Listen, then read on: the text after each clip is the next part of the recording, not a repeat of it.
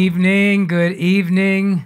Welcome to this global worship church across America and around the world. I see people are tuning in from different nations, and I'm just so thrilled that you've come to worship with us again. Some of you, it's it's after midnight and early in the morning. Some of you, it's well into the next the next day.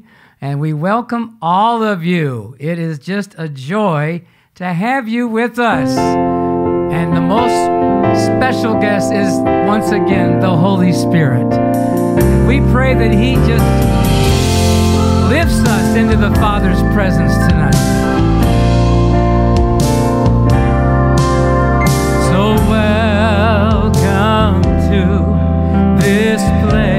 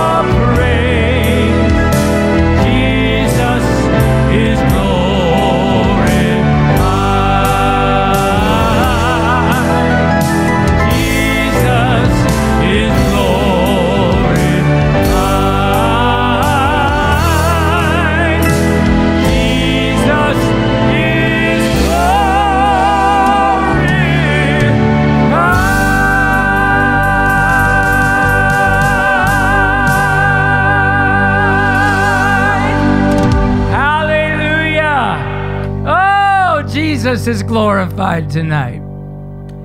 You are welcome to an hour with Jesus. And do you realize what a special grace we have been under to do this every week for over two years now? That awful thing called the pandemic actually was, in many ways, a blessing in disguise. And although I hated those two years, I loved what God was doing through this program. How many He was touching and still is. We get reports every week from people who have been touched, sometimes folks just finding it through other friends. By the way, if you're not uh, sharing this program, please do.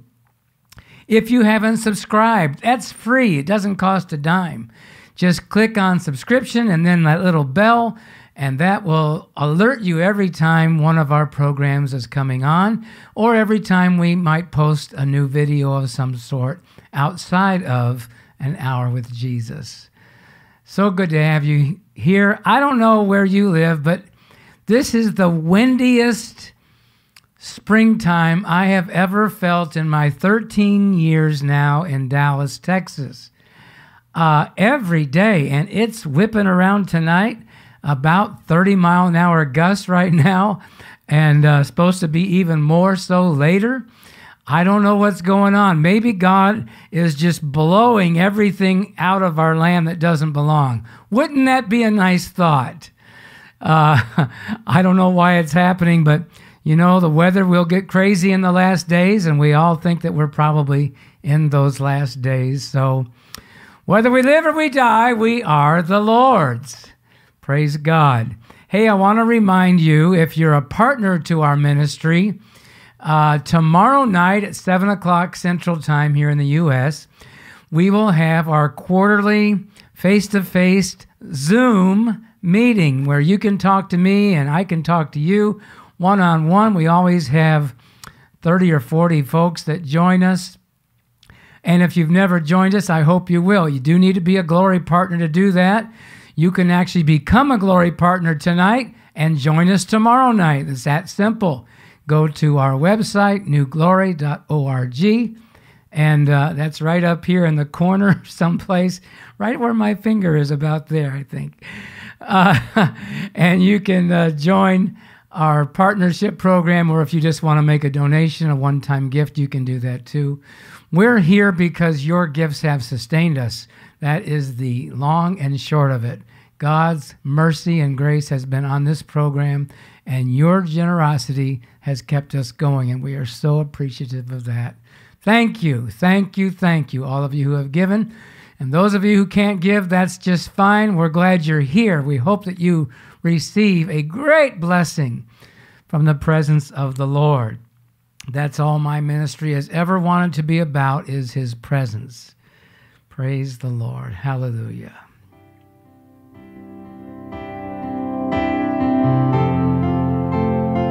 Well, most of you know this song that's been popular the last few years, The Goodness of God. Let's sing it together tonight. I love you, Lord, for your mercies never fails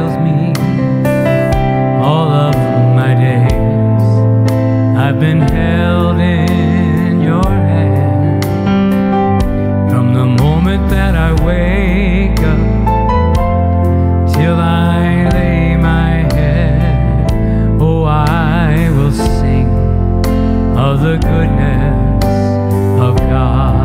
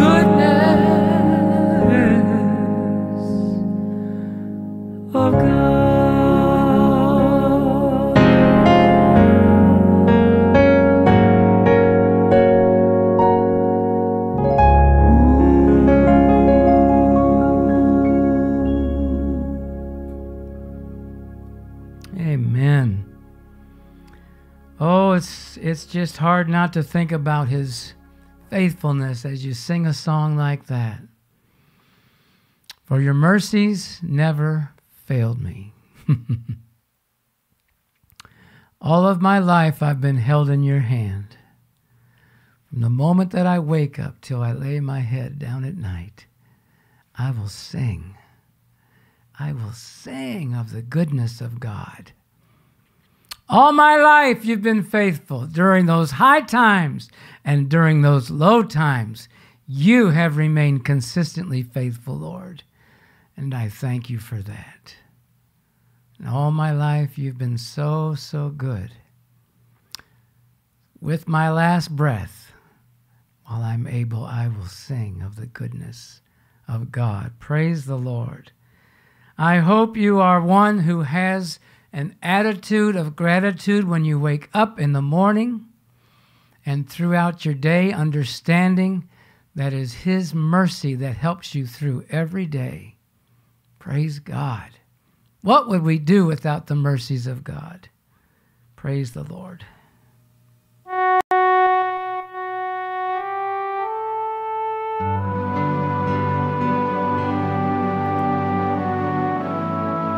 Well, we've entered into his gates already tonight with thanksgiving, and we've entered into his courts with praise. To the believer, there's a place beyond that. It was typified in the, way the temple was built, the outer courts, where all the noise and praise and all that went on inner courts where we're going now, to where worship took place. No longer talking about all the stuff God has done, but now we focus on who He is. And we worship and adore Him for His beauty, for His great love, for His majesty. There's just no one like Jehovah. You and I could spend the rest of our days and all of eternity and not give him all the glory that is due his name. So let's just turn our eyes toward him now. Focus on the Holy Spirit. Come breathe upon me, breath of God. Breathe upon me, Spirit of the Lord, as I lift my hands in surrender to your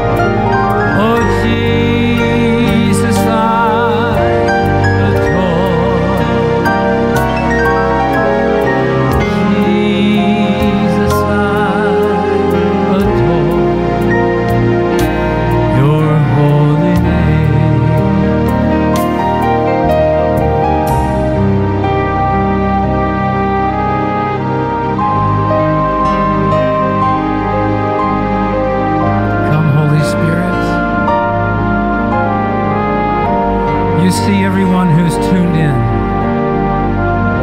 You know their need. You know the desires of their hearts.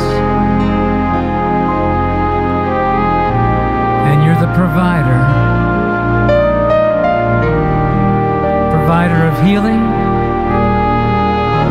Provider of our physical needs, financial needs, our spiritual needs, our emotional and mental needs.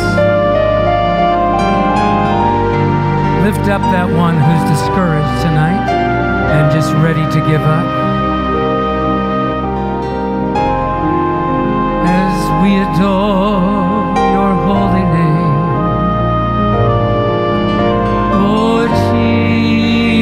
Jesus, we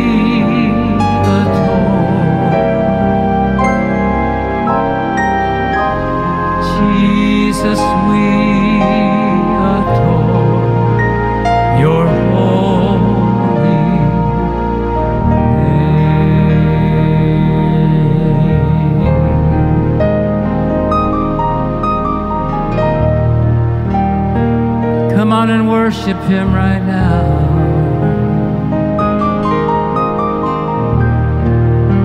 Oh, I adore your name, Lord Jesus. I place you as first and foremost in my heart again right now.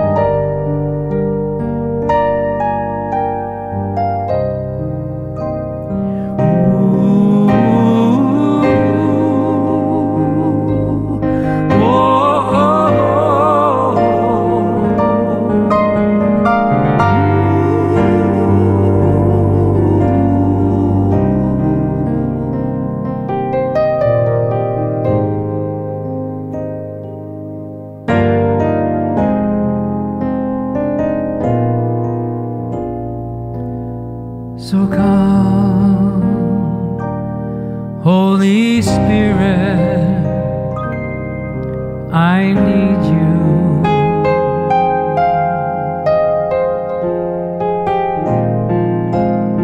Come, sweet Spirit, I pray.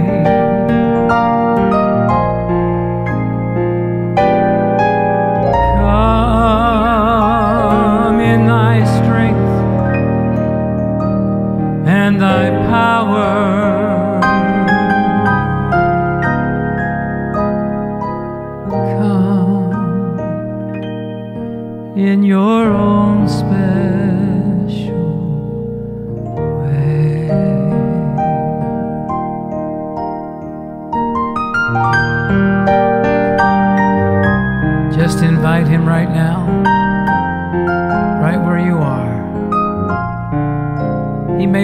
deliver a word to you tonight, if you're just opening your spiritual ears and listening,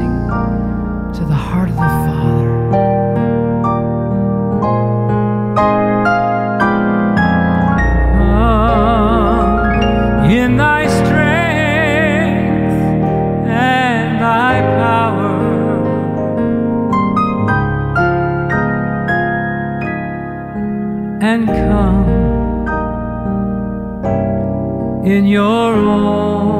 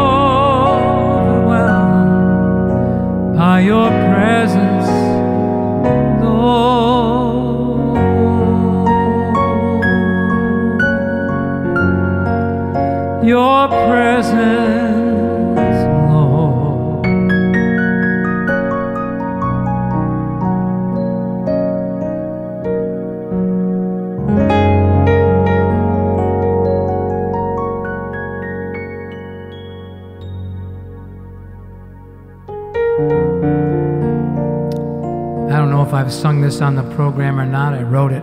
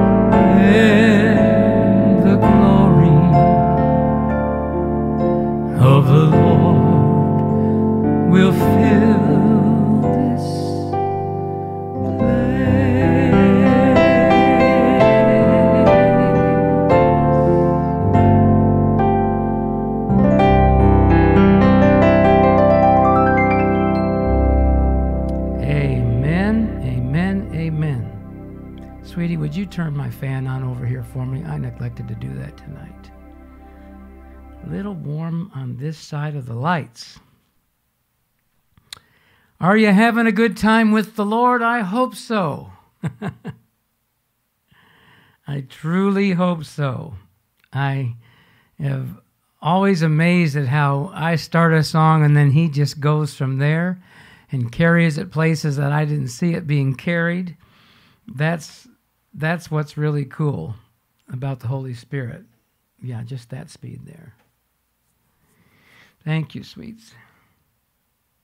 That is Miss Liz behind the cameras and behind the operation of my fan over here, blowing a little bit of cool air on me as it's warm tonight in this studio.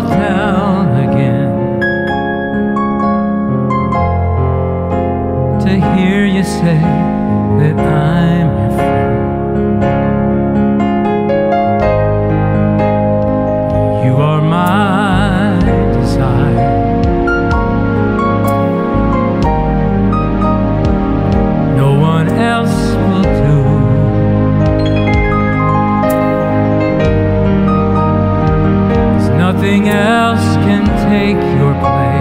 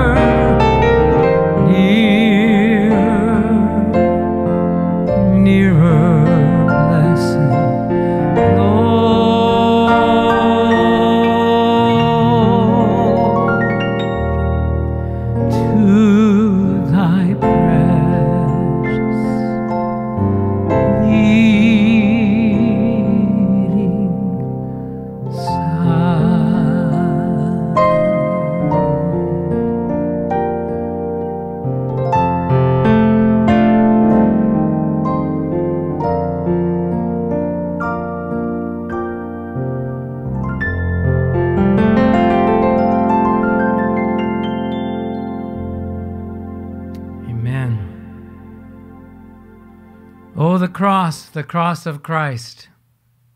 I hope you had a wonderful Easter season. And um, again, that wonderful statement if Christ is risen, then nothing else matters. If Christ is not risen, then nothing else matters. oh, but we celebrate an empty tomb, don't we, friends? Hallelujah.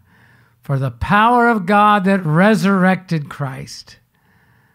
Hmm, man. I'm so glad that the story didn't end at the cross. That is only the beginning for the believer. Praise the Lord.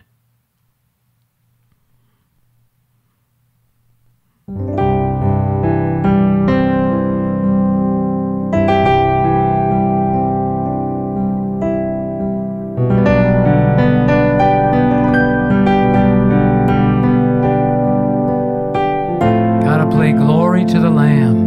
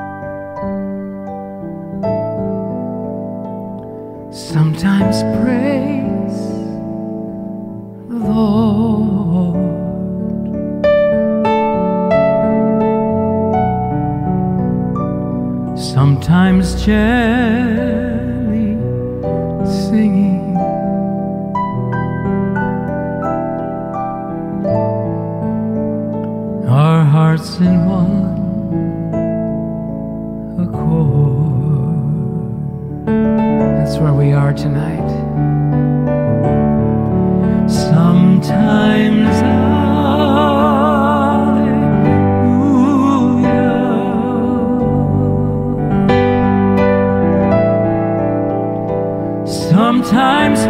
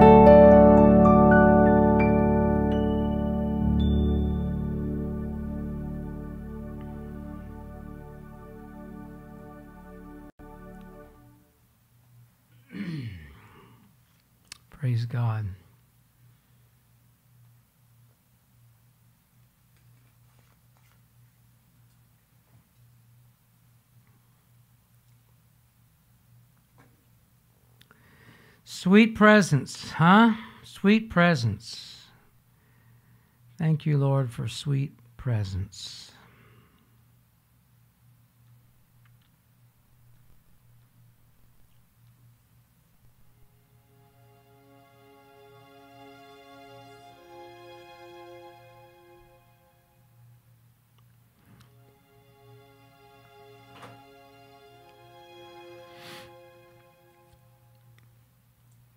Looking at, um, I want to tell you a little story tonight.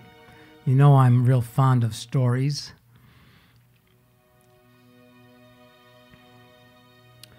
And I know I've used this verse before. I could have used, I could have gone a couple different ways with this story tonight.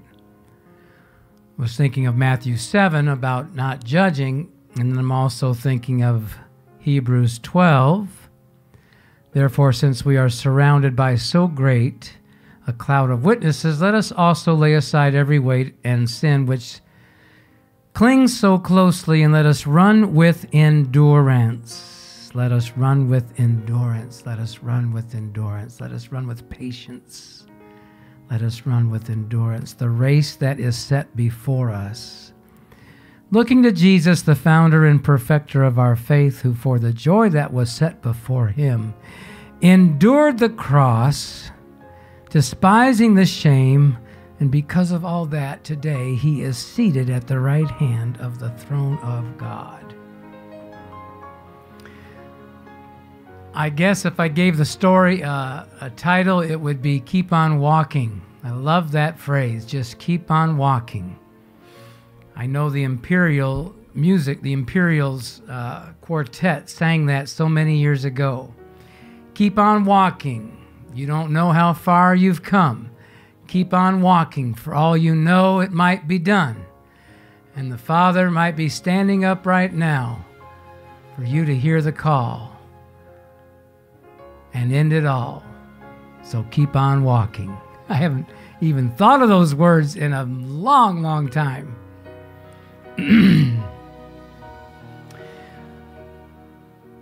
but the story goes like this there was a man who had a son. He lived out in the country on a ranch, and he had one horse. He's a very poor man. Just the son was able to work the ranch for him. The man was very elderly. And the people in the village said, Sell the horse. He's worth a lot of money. At least you can live comfortably in your old age. The man didn't listen to them. He just kept doing what he was doing day after day. One morning he woke up, and sure enough, the horse was gone. Went out to the stable, there was nothing there. Word got around to the village.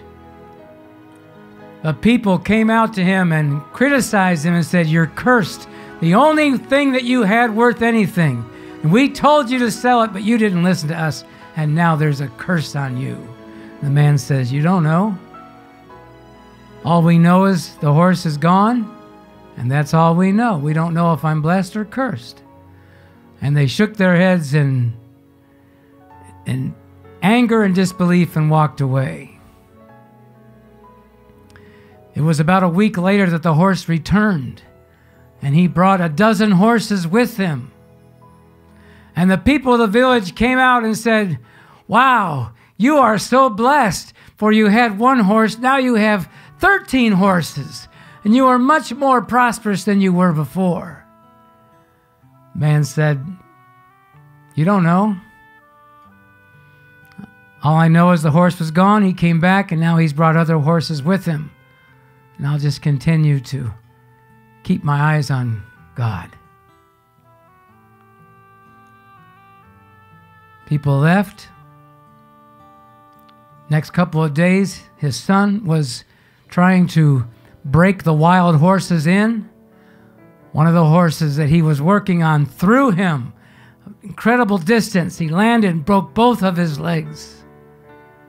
People of the village heard about this, of course. Bad news travels fast. They came out with their criticism and judgment saying, You fool! The only person you had that could work your ranch has now become disabled. The man said, You don't know.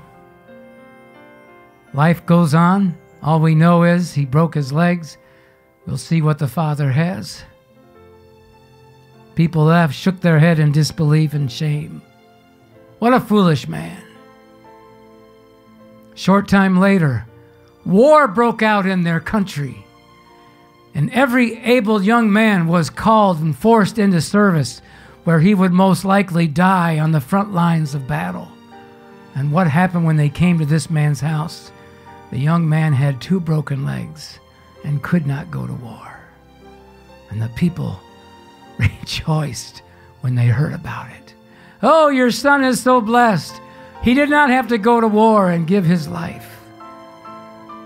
You know what the man said? Basically, this whether we live or we die, we are the Lord's. Don't judge anything that happens you don't know, but just keep walking. Keep on walking. For whether we live or we die, we are the Lord's.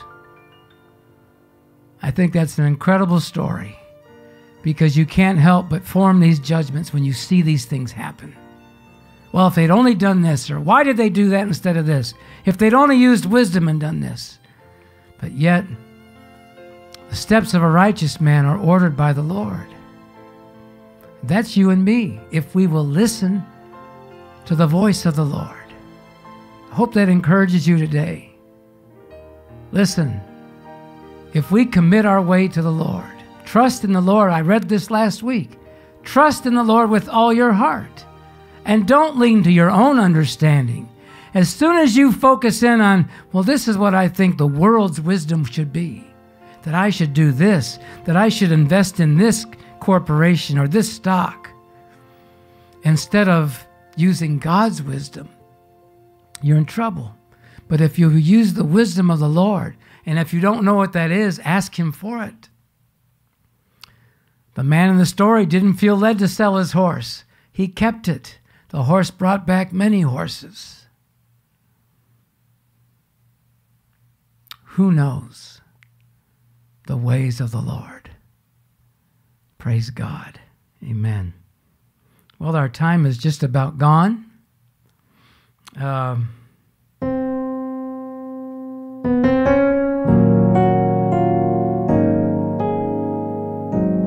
this little song came to mind tonight. Always remember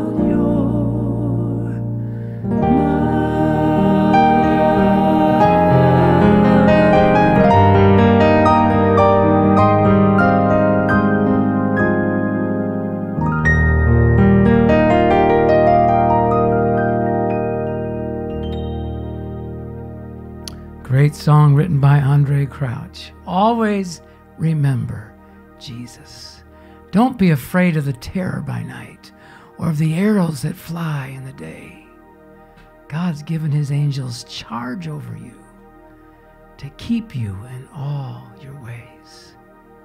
So just keep walking and always remember Jesus.